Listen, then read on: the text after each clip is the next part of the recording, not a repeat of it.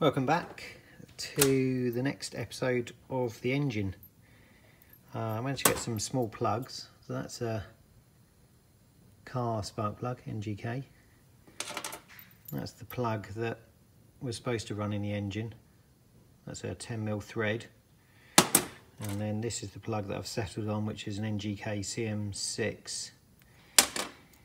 Then I've made a recess in here because the spark plug thread was a bit long.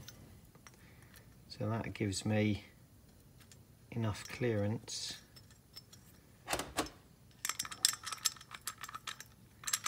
On the next engine.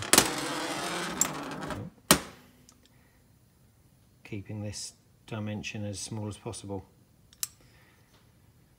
So that's some other bits that came. Quite a few Needle roller bearings. I need those for the camshaft. They're just tiny little needle rollers and some silver steel shaft. That'll be the camshaft and it'll run in these these roller bearings. Uh, I've got some crank bearings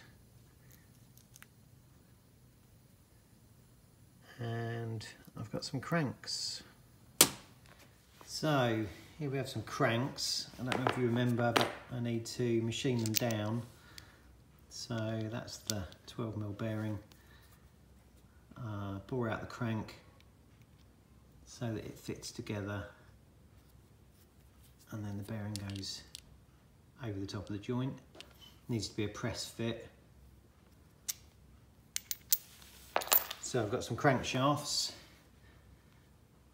that is the assembly as it appears. Uh, obviously I need the conrod, I need the conrod bearing. These bearings are not really going to be used.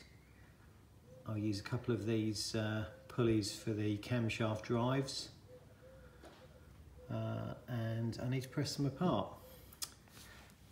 Here I've got a bag of crankshafts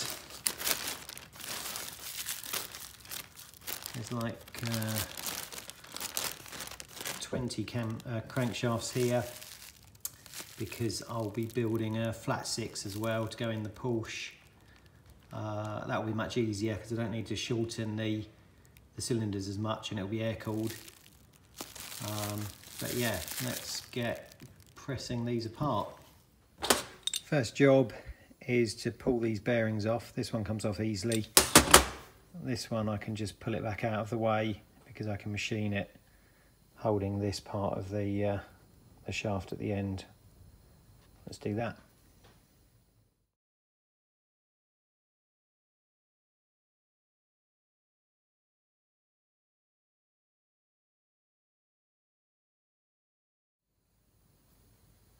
This is the last crank to pull this bearing back. Just pulling it back out of the way so that it's on this section of the crankshaft so that it's out of the way while I'm machining it.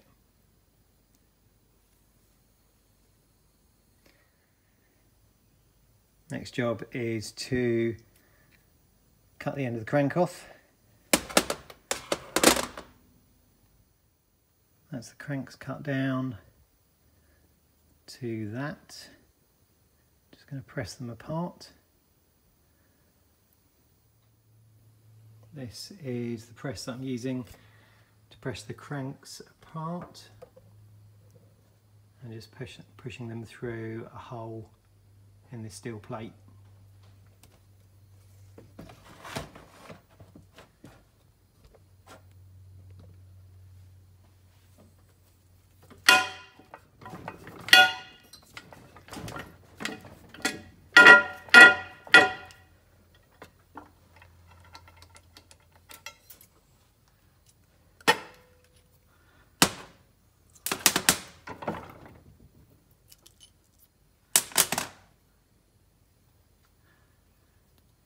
Take this apart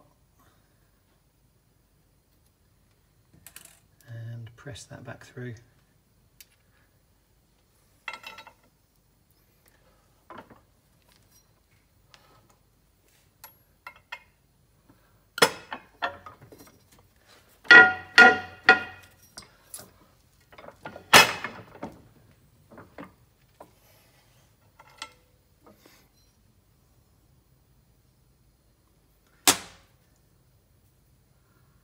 That's the pin that I won't be using anymore. I'll be using a longer one because there'll be two rods on each journal.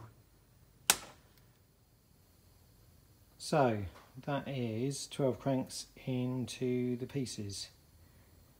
I'll start machining these crank halves now. So I'll stick those in the lathe.